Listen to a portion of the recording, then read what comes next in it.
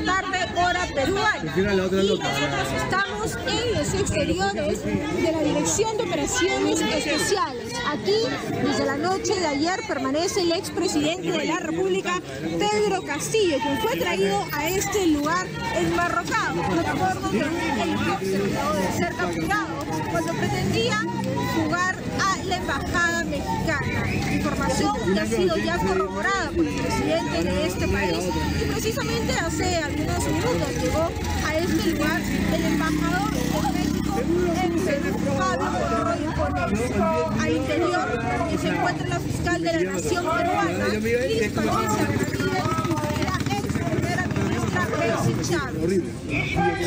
Señalar que también permanece detenido desde hace muchos años el expresidente de la República Peruana, Alberto Fujimori. Vamos a contextualizar qué es lo que sucedió ayer para que las personas que todavía no tengan claro el panorama aquí en Perú. Pues ayer a las 3 de la tarde se iba a debatir en el Congreso de la República la tercera vacancia contra el, entonces presidente de la República, Pedro Castillo, por incapacidad moral permanente. Sin embargo, antes de que esto ocurriera y cuando todo ya estaba listo para esperar la llegada del presidente en el pleno del de la República, renuncia al comandante general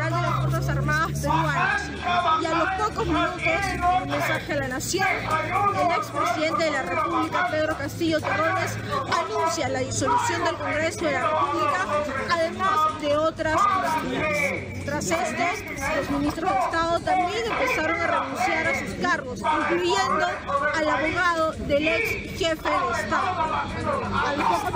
Todos los periodistas que estábamos en Palacio de Gobierno pudimos ver como Pedro Castillo salía del Palacio de Gobierno acompañado por sus dos menores hijos y su esposa, la ex primera dama Lilia Paredes, cargando bolsadas, ropa, cargando bolsas, salían del Palacio de Gobierno en dirección a la Embajada de México. Sin embargo, con su propia escuela presidencial, quien lo detuvo. Antes que el tomo te Poco antes de llegar a la Embajada Mexicana y permaneció detenido en la región policial de Lima por y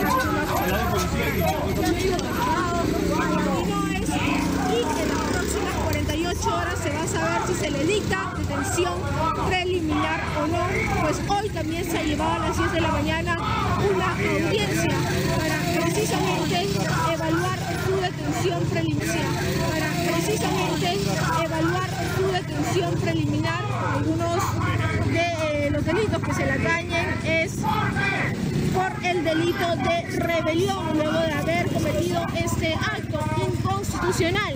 Según la Constitución peruana, el presidente de la República está facultado de cerrar el Congreso si se le denega dos veces el voto de confianza. Sin embargo, esto no había sucedido. La información que tenemos desde Perú, exteriores de la cuartel general de operaciones estratégicas donde permanece el ex